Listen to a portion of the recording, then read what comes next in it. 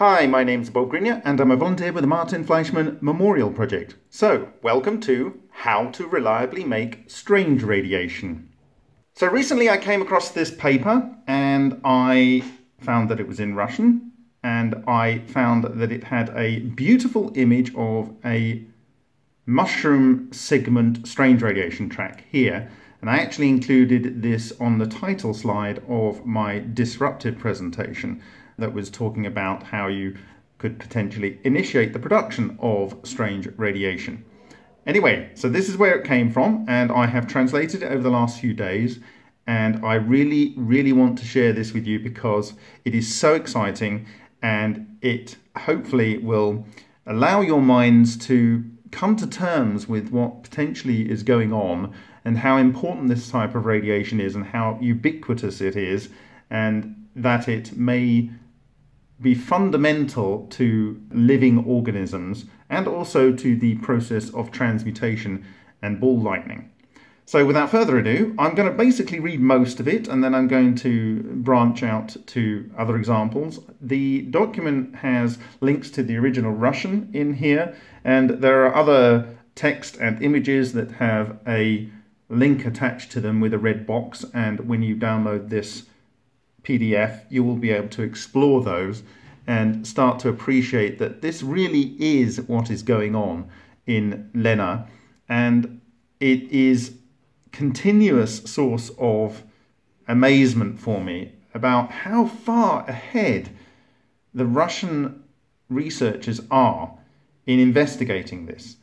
And it's not necessarily only independent researchers. This is at the Moscow Institute of Physics and Technology and the Moscow Energy Institute Technical University. These are not small institutes. Now, whilst it appears, at least at the public level, that in the West for decades, people researching the field of low energy nuclear reactions have been largely ignored at best and sometimes ridiculed and derided, it is a completely different circumstance in Russia. And I hope that the videos that I'm sharing and the other material that's going to come to light in the coming weeks and months will be a real wake up call for those scientists around the world who have not been paying attention to what has been going on and the significance of it. Anyway, let's get into it. Experiments are described to study the interaction of low power laser radiation of the visible range with water, which was previously in a strong heterogeneous magnetic field and exposed to scattered sunlight for several days.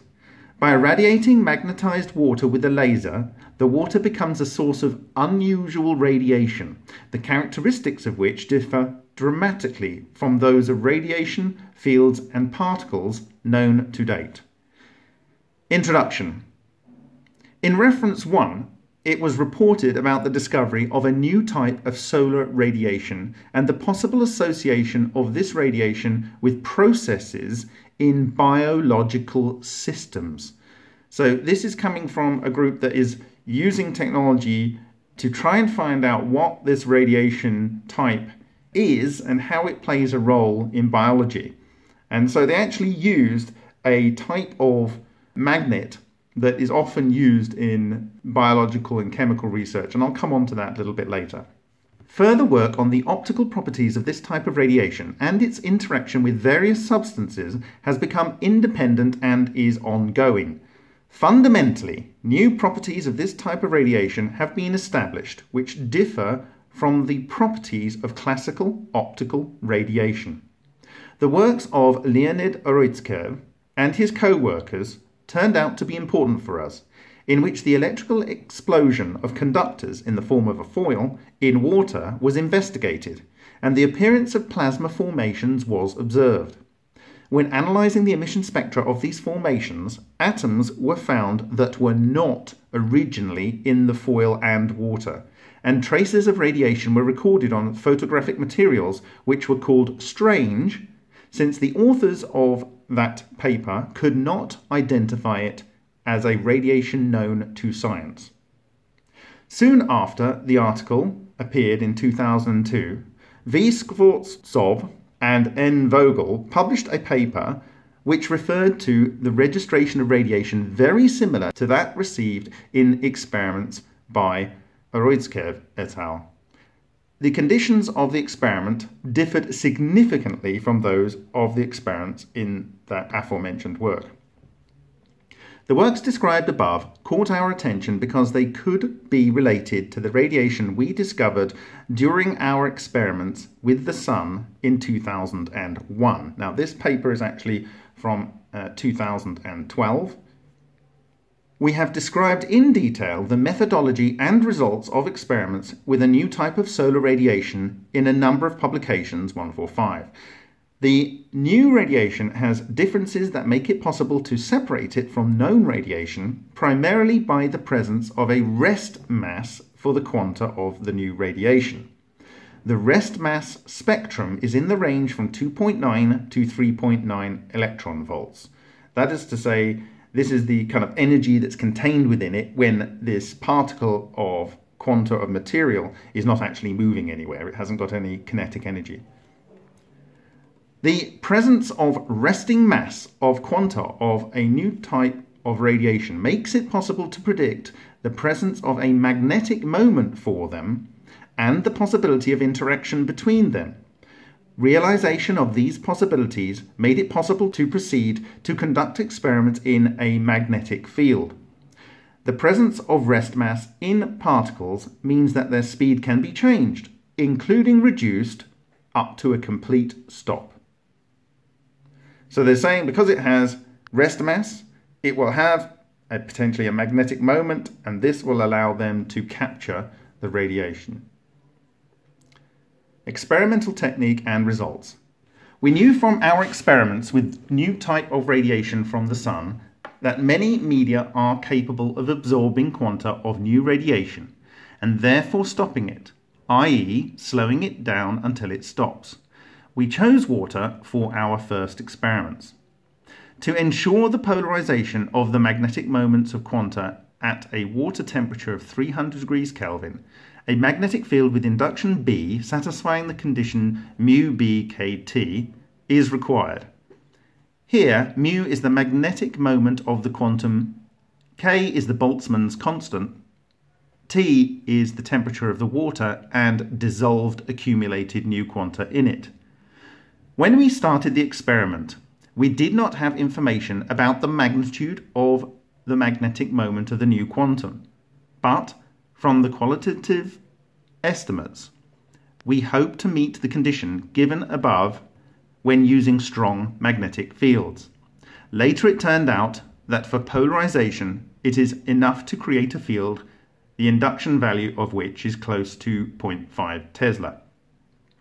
Our second assumption in preparing the experiments was that new quanta polarized by the magnetic field would be drawn into the maximum magnetic field area and compressed by that field to a state where they would interact with each other in a phase transition condensation of the new quanta into microdrops, i.e., they're having these quanta of radiation cohering and condensing into a condensate.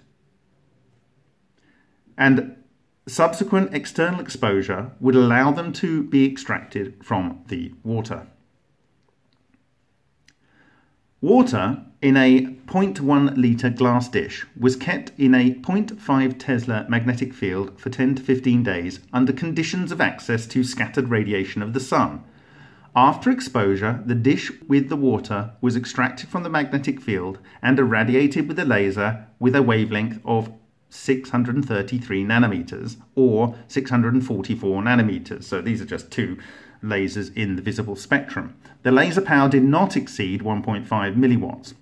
On the path of the laser beam, there was a film in a cassette, which was wrapped in aluminium foil for additional light isolation. The irradiation time varied from 10 to 25 minutes. After irradiation, the film was processed in a standard way. An isopanchrome aerial film with a sensitivity of 1000 units was used as a photodetector. Goston a resolution of at least 110 millimeters. At the same time, we were guided by the registration methods where wide X-ray film was used. But we decided to use 35mm wide roll film because of the simplicity of operations with it. Okay, so I'm just going to look at the various components. Now, I tried to identify these things as best as possible. So we have water in a dish. I imagine it will be covered so that you stop evaporation because it's going to be exposed to the sun for some time. So it will be in a sealed dish. You have some strong magnets and you have uh, sunlight. Uh, then uh, they used a laser and some roll film, 35 millimeter roll film, and that released the uh, quanta of radiation. So I have down there water in a 0.5 Tesla field exposed to sun equals elixir vitae. So what have we got here? Right, so if you look at neodymium magnets, uh, if we want something that is 0.5 Tesla, well, neodymium magnets N35 is 12.5 thousand Gauss, uh, up to N52s, which are 14.4 kilogauss. So what does that convert to? Well, 14.4 uh, kilogauss is actually 1.44 Tesla. So actually we only need 5,000 Gauss to give us the 0.5 Tesla. So these are the kind of units in biological research that they may have used. The magnetic field from these neodymium magnets increases transduction in experiments, and so this is available from Merck. But unfortunately, this is about typically around about 600 pounds uh, for a 96 magnet uh, well. And uh, I then looked for, and I don't actually know the field strength of this, so and I, it's not readily uh, obvious. So I looked for available magnets that could be purchased at a reasonable cost. And it turns out that you can get these half by half inch uh, magnets here um, uh, off eBay in the US quite readily. Uh, and a pack of 20 uh, is $34.99. So if you wanted 96 or 100, let's say, you need five times that. So you're, you're talking around about I don't know, four times five, two hundred dollars, uh, a little bit more, uh, possibly with delivery. So that's a massive reduction from buying this particular one here. Of course, you have to get some aluminium block or some um, some polymer block and uh, make some wells for you to put your magnets in. But you can see here actually that it's got 5.5 kilotesla on this uh, meter. And so this would meet the requirement. So for about $200, uh, you could get the magnets required to provide the magnet part of this.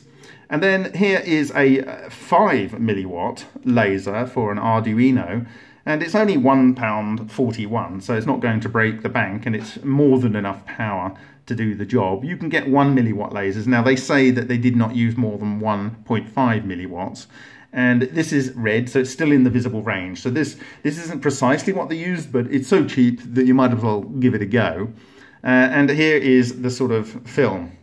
And uh, as they say, uh, it's much easier to get this film. There are still places you can get it developed. And so uh, for £10, you get a roll of film and uh, it will provide the job in my understanding. They don't specify precisely what the film is, so it might be a little bit of a hit and miss, but uh, once you've actually got the magnets, everything else is really rather cheap. Okay, let's move on. The perforated roll film was filled to a standard uh, polystyrene photocassette. Steel photocassettes were also used. The film was reeled tightly enough so that the length of the reel was 1.6 to 1.7 meters and the number of coils in the reel was 35 on average. This method of detection subsequently proved to be quite effective. In the very first experiments on irradiated photographic films, we found traces 6, 7. Subsequently, by varying the experimental conditions, conditions for the complete reproducibility of the results were found there were no traces on the control films located outside the irradiation zone. There were also no traces on the films that were irradiated with water without exposure to a magnetic field, as well as with exposure to a weak magnetic field.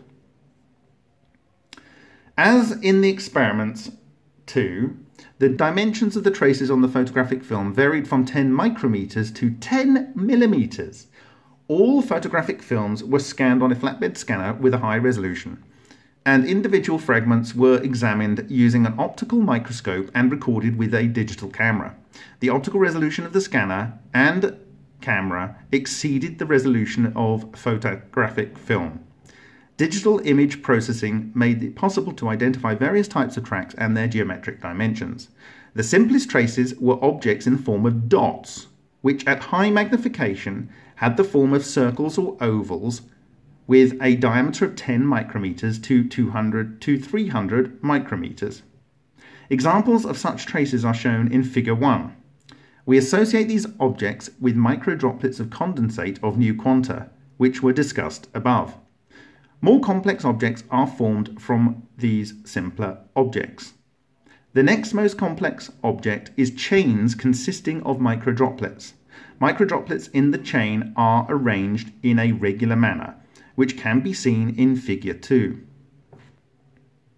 This indicates that the microdroplets interact with each other. The one-dimensionality of the chains means that the microdroplet field has an axial and polar character, which is characteristic of the interaction of magnetic moments.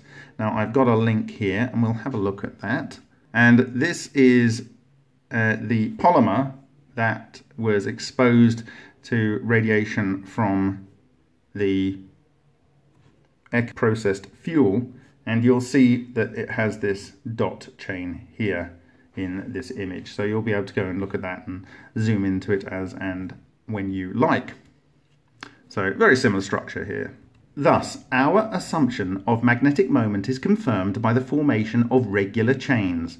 The second important conclusion from the analysis of chains is that microdroplets, or clusters in another terminology, are separated from each other at some distance. This means that each microdrop is at its minimum potential and the overall potential of the chain is periodic.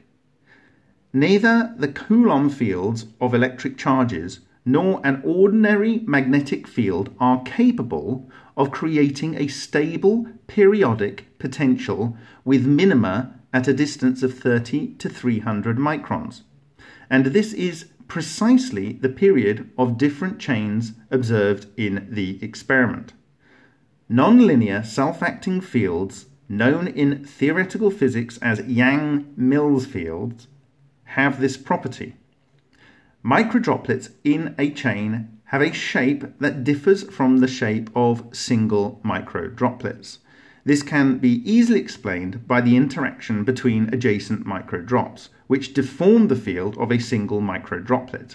Now, it's not very clear in here that that is the case, but it is clear in here, where you can see the drops, or uh, as they call them, a, they're round, but they're slightly distorted towards each other. In reference to, it was noted that traces on photographic film are always located in the plane of the photographic film, regardless of its orientation relative to the direction of propagation of radiation. The traces on our films have exactly the same properties. The shape of the tracks, including the chains on our films, is identical to those published in 2, 3 and 9. This allows us to believe that we are dealing with the same physical phenomenon.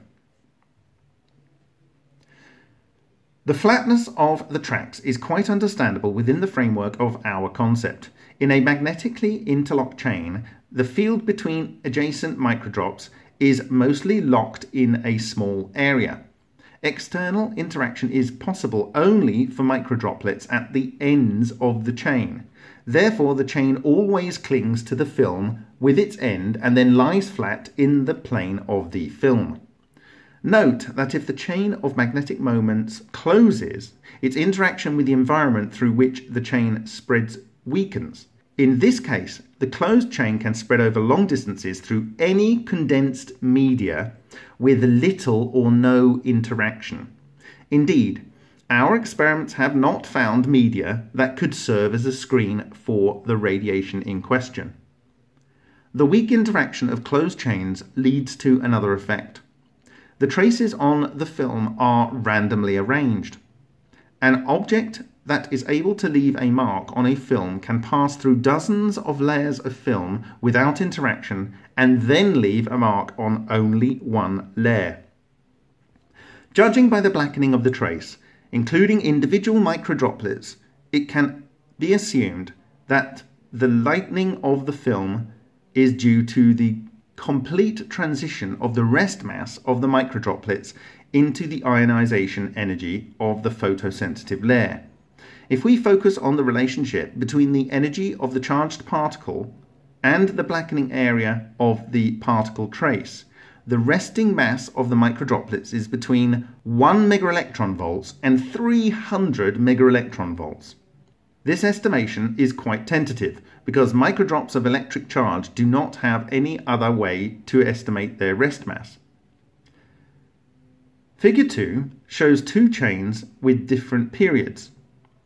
The left chain contains 27 links with a period of 88 micrometers. The right chain has 45 links with a period of 60 micrometers. So, left, right. Interestingly, the width of the trail in the chains is also different. Since the width of the trace is determined by the size of the microdroplet, i.e. by its mass, as we assumed above, it can be assumed that the relationship between the chain width and its period gives certain indications of the nature of the microdroplet field. In addition to long, regular and almost straight chains, there are many short chains, including curved ones. Examples of such traces are shown in figure 1. In some cases, forks are observed, i.e two traces coming from the same microdrop. The presence of forks means that in some cases the microdrop field is different from that of the dipole. What they are saying is they've got curved ones here, straight ones, but sometimes they've got forked ones like this. You've got a fork there, and you've got a fork here, and you've got a kind of fork here, which means they're not just dipoles. They can form configurations that are not just dipoles. Objects of a higher degree of complexity can be constructed from chains and individual microdroplets. The complex objects of various configurations found by us on the films are rather large, up to 10 millimeters or more. There are objects of the chain ball type with the shape of spheroids. Examples of such objects are shown in figure 3. So these are what they call chain ball types. Now I have argued that strange radiation can cluster into any of the allotropes of carbon. That be carbon nanotubes, that be graphene, that be uh, buckyballs, uh, that be diamond and buckyballs within buckyballs within buckyballs, and carbon nanotubes within carbon nanotubes within carbon nanotubes, or buckyballs stuck onto buckyballs at different sizes or inside each other, or carbon nanotubes with buckyballs on them, or spheres with, with tubes coming off them, and, and so on. So these are the things that uh, I have seen evidence for uh, that these structures of this radiation can form into. Now, what you're actually seeing when you're looking at uh, the exposed film is the destruction of a structure of this quantized condensed material. And it, it produced a very blurred one here. But I am of the firm belief that what we are seeing uh, in this work, which was observed when we were looking at Roish and vibrator plates. Now, we already know that it produced the periodic structures. We established it was cavitating within the first few hours of doing tests. And within the first day, we established that it was producing strange radiation. And then later, I took these images, and they look strikingly similar to images in cold fusion experiments in the early 1990s and published in Fusion Technology by Takaaki Matsumoto. This is in 1993. And this composite image here was produced by Dr. Felix Scholkmann. And you can see actually also that you have this central structure, but you also have this uh, field around it. Now, it could be that this central structure is this condensate, this chain, sort of, it's a little bit more clear on the, the structure by Matsumoto. But uh, there's this kind of, this might be this kind of non-linear field that they are talking about. And we also captured a similar structure here on uh, webcam. In fact, it was captured on this webcam with some uh, polytetrafluoroethylene PTFE tape over it, uh, with the fluorine potentially being very important to excite the strange radiation as it travels through it. And then it's got exactly the same structure. So you can see here is the famous strange radiation uh, cluster track that you see on the lion outside of the core material. And you can see how it precisely lines up but this this was captured on a on a CCD. Uh, so and it's it's kind of like taking a segment. This here is like taking a segment of of this structure. So if you had a frag fragment of this structure touching the CCD, you would end up with it looking a bit like this. And so I, I think all of these things are uncannily uh, related.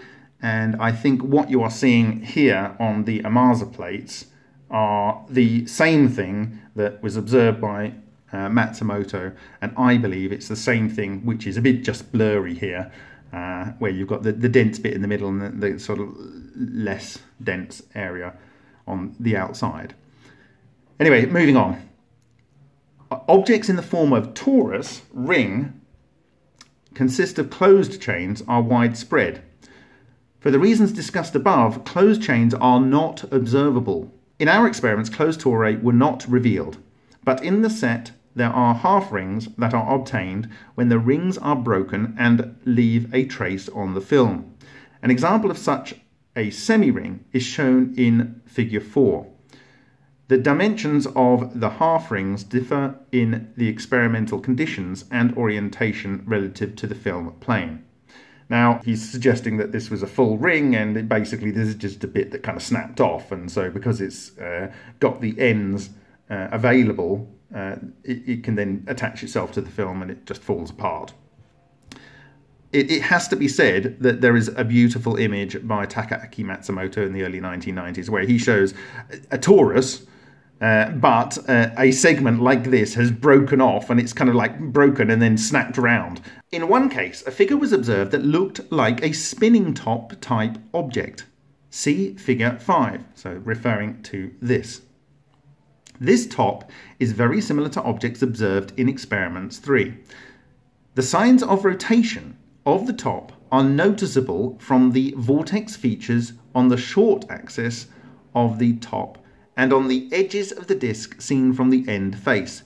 It is extremely important that the edge of the disc is firmly attached to the hole in the film perforation and gives clear marks on three holes. So they're talking about here. Doink, doink, doink, doink, doink. the holes seem to tear the disc into separate fragments. The mechanism of interaction of a magnetic object with inhomogeneities in the dielectric constant of a photographic film is apparently due to the generation of an electric field in the frame of reference associated with a photographic film when the magnetic object, dipole, moves relative to the photographic film. An induced electric field polarizes the film. Polarized film interacts with moving clusters. Another example of this interaction is shown in figure 6 here. Now, these T structures, in my view, are the same as the echo structures, which you can see uh, close-up images here, these uh, T structures here. Uh, T, T structure here, which we've talked about in a number of presentations. Figure 7 shows a fungus shape. These figures are observed quite often the size of the cap is from 3 to 8 millimeters. 8 millimeters! And the thickness is from 1 to 3 millimeters. But the leg of the fungus is sometimes not fixed. Figure 8 shows with a large magnification the fine structure of the fungus head in the form of a wave system with a characteristic size of 30 microns and similar to a shockwave trail as recorded in aerodynamic experiments. So this is the image which I absolutely love. It's the most beautiful image, and this is the one, the type of one that's been observed in many different systems hydrodynamic generators, the use of cobalt 60 and cesium 137, i.e., gamma emitters. So, if you are producing gamma, you will create these things. And uh, Bogdanovich used a a synchrotron electron beam through conversion targets to convert it into gamma and pass it through a magnetic field. And guess what? He produced these things. So if you are firing gamma into condensed matter, you will produce these things. And this is what is being said uh, by Bogdanovich is that these things these mushrooms, as they call it here. It's just funny because it's it's what I, I call them. but anyway, um, these mushrooms, they are able to act as like virtual Dirac monopoles, and in being in that way, they can cohere matter and they can transmute matter. And in theory, if they are big enough, they can even rip matter apart, i.e., decay protons. And so this is the close up. So this area is a zoomed in area of the head here. Figures 9 to 12 show photographs of the fungus obtained with the Quanta 200 scanning electron microscope, SEM. The images were taken from an emulsion at various magnifications. See scales below the image. They show that the surface is covered with spherically shaped protrusions with a diameter of about 4 micrometers. Their number is greater in the center of the cap and less at the edges. So they are greater in the center of the cap and less at the edges. Greater in the center of the cap, less uh, at the edges. And here we go. These are the pits. Now, we have to bear in mind that if you look at the work of Alexander Shishkin who, and his team at Dubna, he worked out uh, from 2008 onwards that this is the explosive unpacking of what he calls a magnetotoro electrical radiation but in the form of a neutral form, uh, which is soliton uh, of he he considers it to be uh, condensed cold neutrinos. Anyway, that being said, uh, the pits they identified these are differently assumed than are assumed by these authors, and uh, Shishkin et al. calculated that the material that the string vortex soliton passes through takes on the nature of the atoms to which it's exposed, and that the pits that arise are directly proportional in depth and in diameter to the atoms which the string vortex soliton passed through. And it's interesting because Ken Shoulders said that an EVO is actually something akin to an atom without its nucleus. So it's just like a, a, a, bunch of electrons that are all effectively coherent. So this this is uh, differently interpreted here, and I have got the reference here to this new type of radiation. And these microcraters were filmed by SEM. Also, you can see that they're very, very clear. They're again semi randomly arranged. If you thought this was like a regular magnetic structure, then you can see that it's semi randomly arranged here, so it doesn't make any sense. And the concept of it explosively unpacking is uh, one that makes more sense. And here's all the different methods that you can produce it. So you can use corona discharge, and, and so forth, and and and uh, cavitation and uh, hydrodynamic generators and gamma radiation sources and so forth. So these are the different ways that you can produce this type of radiation. Let us dwell in more detail on the meaning of the term magnetic moment. We have already mentioned that the basis of our interpretation of the experiment is that assumption that quanta of new radiation condenses in a strong magnetic field. As a result of condensation, microdroplets of condensate are formed, a new object in the quantum field. Microdrops of condensate have a mass well above the 5 electron volts value and must contain a significant number of new radiation quanta. As a result of condensation of these quanta, their electromagnetic field is converted into a magnetic field of a microdrop, which has a predominantly magnetic dipole configuration. The magnetic field of microdroplets and objects consisting of microdroplets differs from the usual Maxwell magnetic field in that it is carried by massive quanta.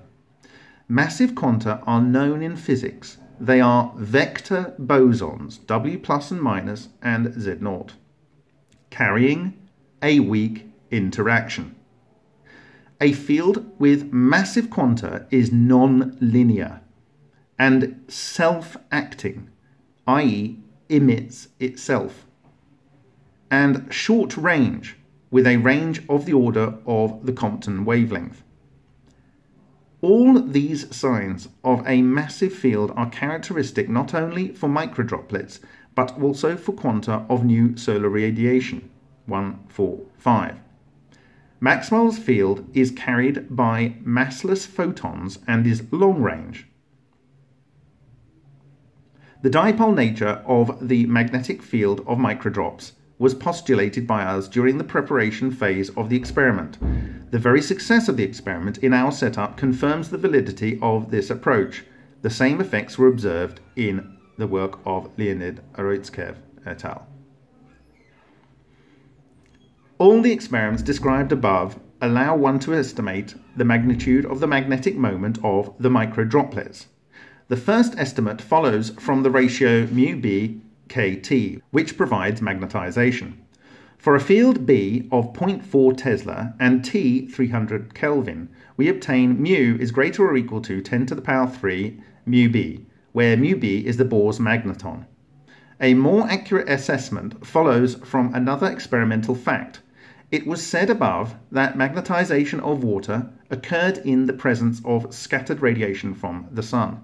However, when water was extracted from a magnetic field, it could be completely discharged in 30 minutes by exposing it to weak laser radiation. Thus, the magnetic field locks the microdroplets accumulated in the water. As is known, the energy of interaction of a particle with a magnetic moment mu with a magnetic field B is equal to E equals mu B.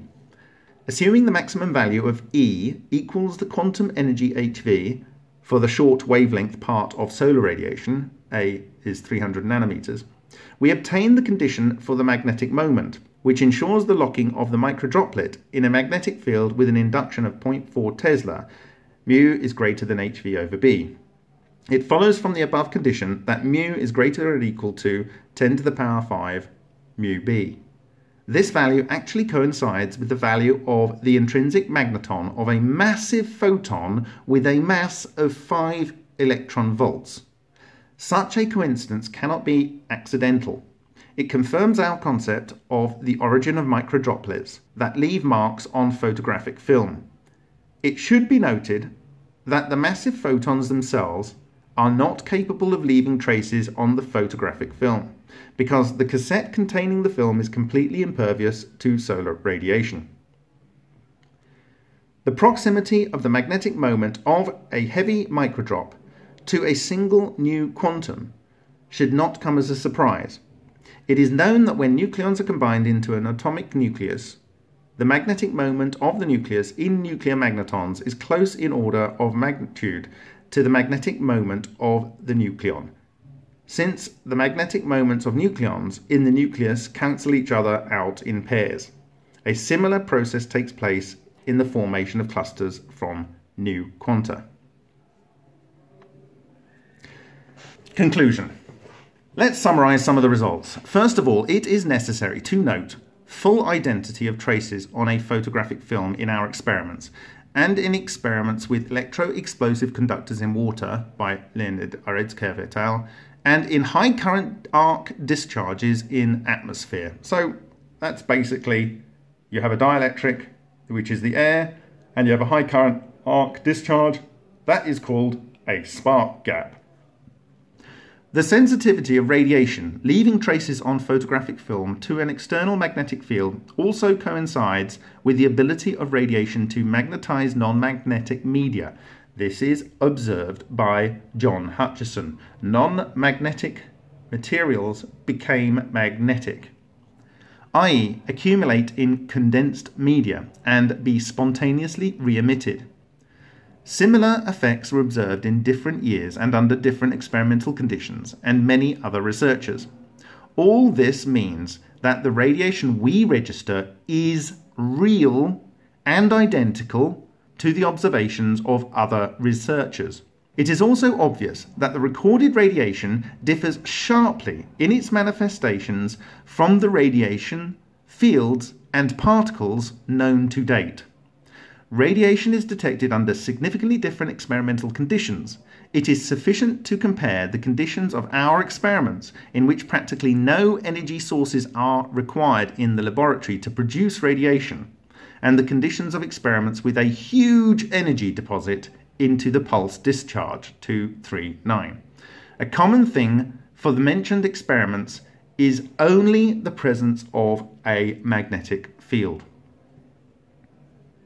The reality of the new radiation also means that a new field and quanta of a new field are real. Moreover, the quanta have rest mass and are capable of forming macro objects larger than 10 millimeters in size. We can assume that a new state of matter is observed, which differs from the known states, including plasma. A feature of the new state of matter is the stability of the shape of the field macro objects and the great variety of shapes. The stability of the form is provided by the nonlinearity of the field and the ability of the field to form a minimum of the potential at a non zero value of the field. An example of such a field is the scalar Higgs vacuum field. The new field, apparently, is the basis, a kind of skeleton of long lived plasma formations, and natural ball lightning is related to them.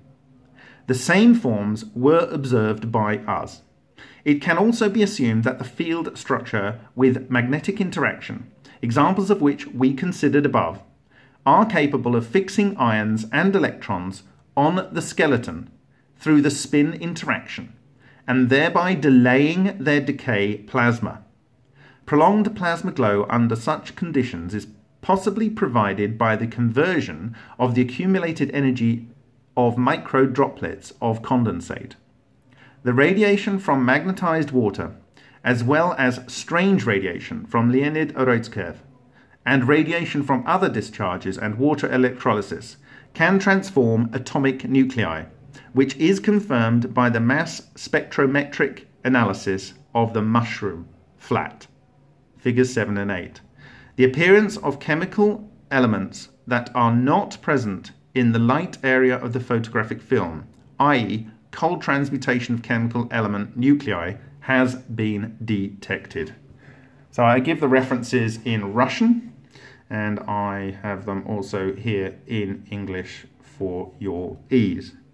Now, what I've shown you by referencing all of these different methods that can create this kind of radiation, and by showing you that it was observed in the Lion reactor and that it was observed in the Echo fuel that was looked at here, and it was observed in Ohmasa vibrated water. Ohmasa vibrated water is used to produce suitable water for fish and for eels. And I saw them in his lab, and it is claimed that they grow faster and bigger in this treated water. Now, in the case of Shishkin, he has this hydrodynamic generator and he taps some of this water and it seems to make plants grow very, very well. And when I was at the Sochi conference, one of the lecturers there, and I think I've included this presentation in the MFMP's YouTube channel, they were working with this company in Germany that was using a corona discharge, which we know corona streamer discharges produces this type of radiation. They were corona streamer discharging into water, and then they were applying this water to seeds and, and whilst the plant is growing. And the seeds were more disease resistant and they grew faster and stronger.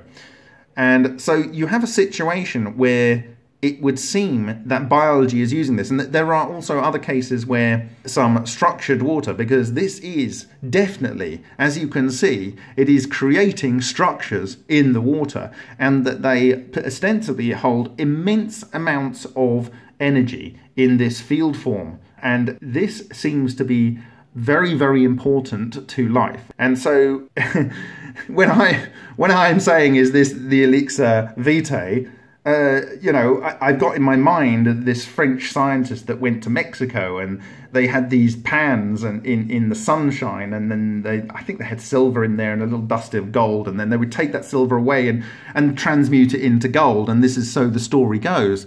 But it doesn't sound so silly now that, that maybe that intense sunlight was imbuing the water with this type of field form of energy that's capsulated into what they call as droplets or charge clusters in the terms of uh, Ken Shoulders. And then this primed that material for easy transmutation if the subsequent conditions were right. And so, really, you have something that is able to impart life and health and exuberance to organic organisms, but also uh, that is able to transmute matter. And so, really, it does kind of fit the bill for Elixir Vitae. And so, I just want to end by saying something about Ken Shoulders here. And this is on Rex Research, but actually, he's referring to something at the end of Ken Shoulders' 1980s book, EV, A Tale of Discovery, which was kind of like where he was in the early uh, to mid 80s, having explored the work of John Hutchison. And he says Ken Shoulders also has suggested that the EV is a spherical monopole oscillator, as he describes it in the conclusion of his book, EV A Tale of Discovery. This monopole oscillator is the perfect generator for vector and scalar potential waves without contamination from either electrical or magnetic fields. These waves can be thought of as longitudinal waves in the vacuum.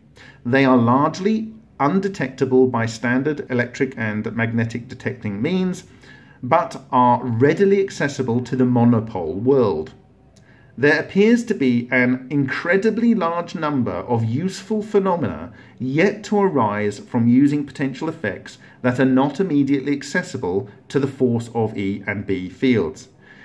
This phase determined force free world will certainly be another chapter somewhere in the future of EV research and development. And it goes on to talk about instantaneous transmutation, transmutation of material. Ken Shoulders has demonstrated the complete elimination of radioactivity in high level nuclear material. Whatever the mechanism may be, the neutralization of our huge stores of radioactive waste by EV technology will be a great wonderment and blessing for which we can thank Ken Shoulders. And I would extend that to thanking John Hutchison because John Hutchison had not done what he did out of curiosity, there would have been no Ken Shoulders looking at this space. So there we have it. This took quite some time to translate, and if you like the work that I am doing and you think it has value, uh, please consider donating to the project. You can see some links for ways to do that in the description of the video. As usual, all of the references will be in the description of the video. I just want to put a warning in here uh, before everyone jumps off and starts producing this thing in this extremely easy way and consuming it you have to bear in mind that the damage that can be caused to biological systems by these things exploding within that biological system uh, can be extraordinary. And this was characterized by the presentation at Sochi in 2018 by Alexander Shishkin. Now, ordinarily you would imagine that it shouldn't fall apart inside the body. However, 1.5 milliwatt laser was able to pretty much within 30 minutes cause the removal or the ejection of all of the accumulated charge in the magnetized water in the tests that I have described here. Now, whilst that is not necessarily causing them to explosively unpack, when they interacted with the film, they recorded their explosive unpacking. And so you have, in the case of one of these little micro droplets, 300 mega electron volts of power. And this, because it acts as a, as a massive boson, potentially like a vector boson, you have a situation where uh, it can cause instantaneous remediation of nuclear waste, but by the same token, it can cause instantaneous decay of potassium 40 and carbon 14. Potassium 40 being in uh, all through your body, and carbon 14 uh, being in the sugar molecules that hold your DNA strands together. The real risk is that whilst the ancient people could have probably got away with using this technology, we unfortunately live in a world in a sea of electromagnetic radiation which could cause this type of condensed energy to decay very readily. So I think I would call for an international study into first producing this radiation and then seeing which electromagnetic frequencies cause it to decay. And so they used a, a laser pointed at the dish. You could literally just hold your phone up and see if the, the Wi-Fi radiation coming from your phone is sufficient to cause the decay of these condensed forms of energy. If that is the case, this would account for cases of cancer and potentially cases of loss of sperm count and potentially all kinds of problems going on in biology throughout the biosphere. And this, for me, is one shocking realization that I've come to that we may be living in a world which we don't even, or the, the bulk of humanity out there does not even have a concept of something that is able to be affected so greatly by the sea of electromagnetic energy we are currently subjected to. So I think now that I have seen this Russian work and translated it and made it available to the wider scientific community, I think there's a deep responsibility for the world um, to take this seriously and to and to explore it to the fullest depth possible. Um, because it has the potential to bring huge, huge benefit, but also to explain rises of cancer in the world and other biological problems that seem to be occurring. And I think this is a far, far more serious concern than some of the things that are discussed as being something scientifically we should be concerned about. So thank you very much for your time and uh, I will see you in the next video.